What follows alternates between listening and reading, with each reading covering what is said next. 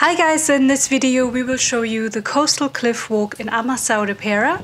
You can reach it here from the Holiday Inn Hotel if you turn left or from the town center if you head towards the beach. And here you can see the walk. There's also a staircase that you can take um, right from the beach if you want to continue from the beach up the staircase and then along the cliffs. That's also an easy way to find it. Um, we can highly recommend it to you and now we will show you this.